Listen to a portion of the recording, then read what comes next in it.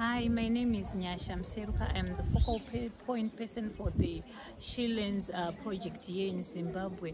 We were having our training for the toolkit for the adolescent girls and young women here in Zimbabwe and the training was for two days and today is the last day of the training. So at the end of the training we had a manifesto uh, which is being uh, done in the five countries where the She Learns project is being implemented, and Zimbabwe is uh, one of them.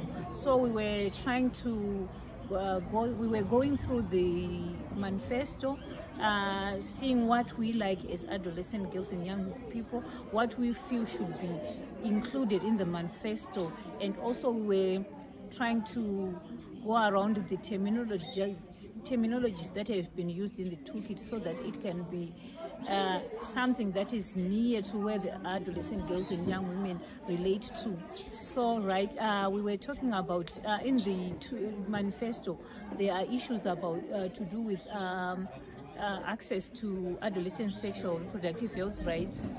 So we managed to we managed to talk about uh, the discrepancies uh, here in Zimbabwe. We're talking about uh, access to safe uh, abortions. So we're talking about the Abortions Act here in Zimbabwe, which only talks about uh, when one should have a, a, an abortion that is only in three cases. So we're now talking, uh, looking at how adolescent girls and young women are now vulnerable when it comes to them having a post-abortion care because of these acts that sometimes restrict them to have a safe abortion. So there were many issues that were highlighted by the girls and it was quite an experience. We as Zimbabwe She Learns uh, project, we have adopted the manifesto and we will continue to deliberate on what else that can be added in the manifesto.